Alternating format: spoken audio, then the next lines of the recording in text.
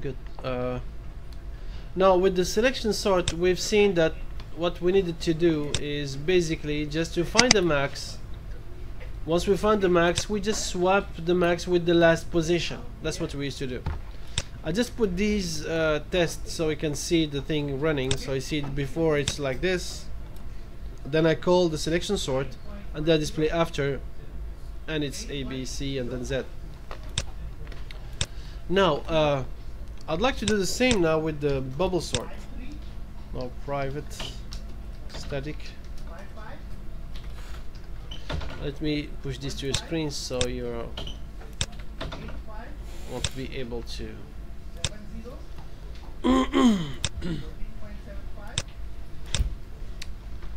okay, we said void and then bubble sort and I'm going to copy this because I'd like to have the same array list here. Now with the bubble sort what we do is that we have a for loop. We're going just to do one pass but we need to do many passes. But just let do one pass that is going to swap them one by one from this one until the list dot size minus one. Why minus one? You remember? Why we have to do minus one here because we don't want to overshoot the position because what we're going to be doing here is that we're going to be comparing the list dot get this i and compare it to list dot get i plus 1 and if the i is bigger than plus 1 then we need to swap these two values so this if the i is bigger if the the one i is on the left the i plus 1 is on the right. If the one on the left is bigger than the one on the right we need to swap them because we would like to have the bigger one on the right side. So that's why we have this question. If the one on the right when it compares to the one on the sorry one on the left compared to the one on the right this is bigger then we have to swap them. So to swap we have to do the same thing now what is the same thing? Again we need the temp. We save the i let's say. And then we're going to change the i. Set the i with the let's dot get i plus 1 now what I did I get the element from the one on the right and put it in the i. And what I'm going to do now I'm going to change the one with the i plus 1 to the temp. I take the element on the left. This is the left. This is the right. The element of the left I put it into the temp. Then I'm changing the element of the left to be this new value now. What is the new value of the element of the left? Which is the i? I'm going to put the value of i plus 1 the one on the right. And then in the position i plus 1 I'm going to put the temp.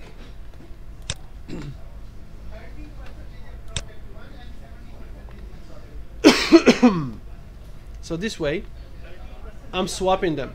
So this is a swap. I swap when? When this one on the left is bigger than the one next to it. And I need to repeat this thing many times. But I'm going I'm not going to I'm just going to start just with one uh, with this bubble sort. I'm just going to do this one thing and then run so I can see what it did. So what happened is that it took this compared to this one this one is bigger than this one so I'm going to swap them. So now A and Z are swapped. Then this Z now is here I compare it with C. Is A and C which one is bigger? Now this is the Z Z is bigger so it's going to swap Z and C that's why I'm going to see C here and then I'm keep swapping Z because Z is the biggest so it keeps swapping swapping until it comes here so at the end what I did I swapped Z with A I swapped Z with C and swapped Z with B now that's the the this first step. Now I need to do exactly the same thing now, but with the remaining three. Which means what needs to happen is I need to do the same, but this time it should be minus 1 and that's it. That's all I have to do right? The rest is going to be the same. No? No, yes. The last set, we, cha- we, ju- we just change, we should change the. now what I need to do I need to compare this and then I'm comparing this one with the next one. And so on. And then this is going to swap every time I found something new. What did I do? Adobe Device Central. Well we'll discover what this is in another video maybe. But now let me just show you what needs to be done if I'd like now to do the same for all the rest of the array. I just need to have this sort inside of another for loop. I'm just going to put another for loop. I'm going to call it j. j is going to be until the size minus 1. Why minus 1? Because how many times I'd like to repeat? Subtracting the, the size of the array.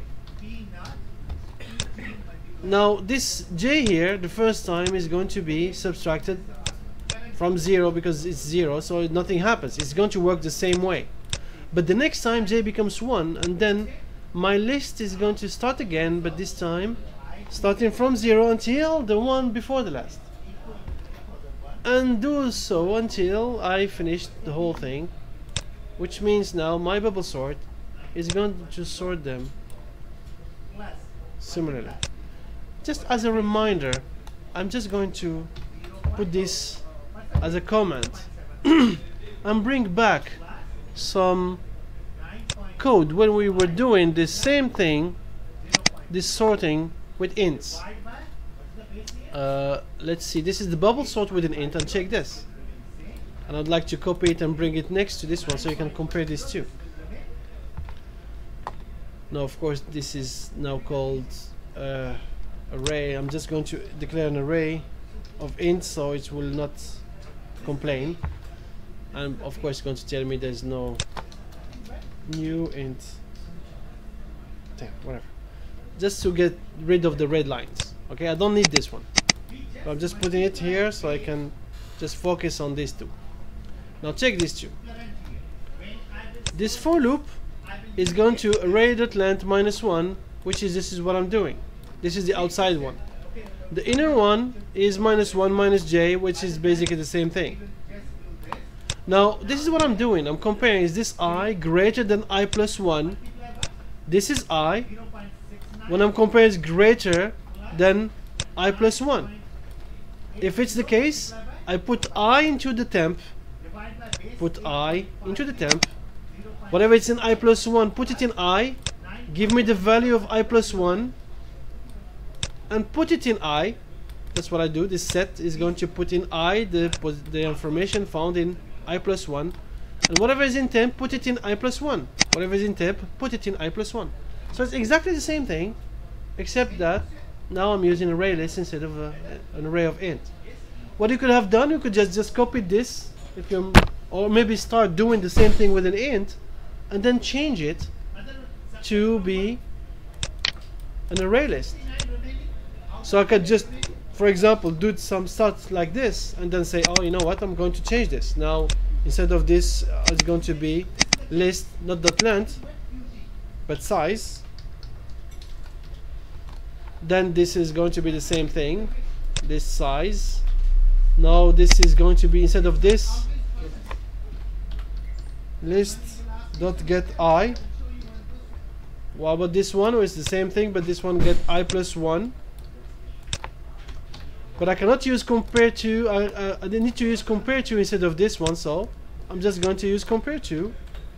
Dot compare to, and open parentheses, and then close it after. And then I'm going to ask if it's greater than zero because I need to have the same direction of the of the comparison of the comparison. Now this list does get i. This is what I put inside of temp, but it's not an int. It's a string. Then here I need to set something. Now I need to set the i to be this i plus 1 so I'm going to have now I'm not going to delete it so I'm going to see it. Set the i. So I'm not I'm putting something into this i. What am I putting into the i? Get the i plus 1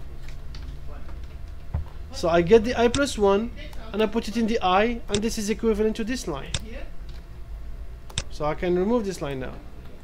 And here is the same thing except that I'm changing the i plus 1 and I'm putting inside of it the temp. And that's what this line is all about. And this is successfully con converting a bubble sort of an int to a bubble sort of an array list of a string of anything basically So if I uh, can uh, remove i equal to 0 and i equal to 1, if you remove i this i and then you put instead of 0 you put 1 now what you're going to do the first thing this is 0 so it doesn't change right? The j is 0 but the first time you're going to take okay you're going to compare this one sorry this one with this one. You're going to leave the first one uncompared so the, the z will stay there all the time while it should be at the last so it's not going to work as you expected. Let's run it. You see? from here it works. No i'm sorry, i'm saying look at look at this here. As soon this is the in original array. It was sorted correctly after the z because we started from one. We discarded one and then we started from one and compared one next to it. That's why this absolutely needs to have start of zero. Yes can make j equal to one. we can make j equal to 1 yeah same idea. If you make it one equal to 1 here you remove the minus 1 here and you remove this one to be minus j then. Yes you can make it like that. No i stays at 0 we always start with the first element of the array and compare it with the next one. This is just controlling where should we stop now if I run it again just to make sure as you can see it works with the bubble thing. so that's the array list and that's for this exercise this exercise any questions